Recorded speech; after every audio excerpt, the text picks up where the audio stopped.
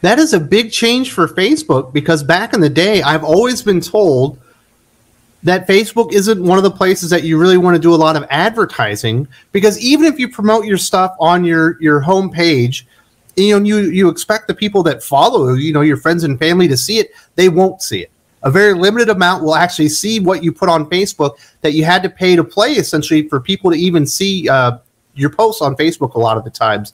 So it mm. sounds like they're kind of changing the algorithm, opening up a bit because they want people to come in here and experience what Facebook is all about and see things that get them excited. Go to this uh, person's page, subscribe, and start looking at all the wonderful things that they're creating, whether it be comic books like yourself or maybe uh, independent musicians and stuff like that. Mm-hmm. It's all, it's all about the content nowadays, Wes. Like um, I think I think what really put them on the heels was when TikTok showed up and they started getting even more marginalized in the the creator space than they already were. And they were seeing that it's like the attention is where the creators are.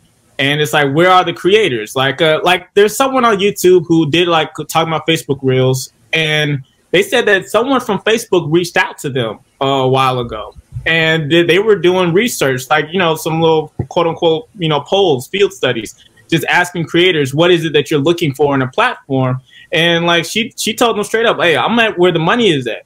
Like if you if your creators are getting paid, they're gonna be there creating content, and the where there's content, the users will follow. When the users follow your platform, you know it blooms, it swells. Come on, Benny, man. The kid is a L7 weenie.